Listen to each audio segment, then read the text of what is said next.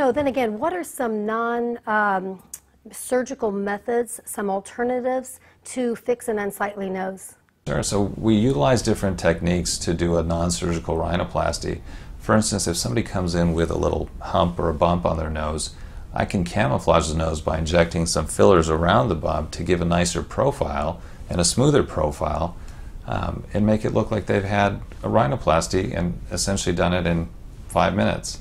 Now, with some other patients, they may uh, benefit from Botox in the nose because there's some muscles that may pull down the nose, um, and you can relax those muscles so that they don't have a droopy tip or a tip that moves. Oh, that is really great to know. Actually, I did not realize the Botox can be um, added, you know, to the nose area for that type of treatment. That's really great. Now, these procedures, these fillers and Botox to the nose, um, they do not bring permanent results, do they?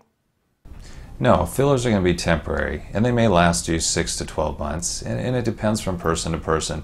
Generally speaking, we feel that in areas where there's not as much movement, that these fillers will last a little bit longer. So when somebody has something injected in the nose, we do think that it's generally going to last a little bit longer, but I tell patients to give it about 6 to 12 months.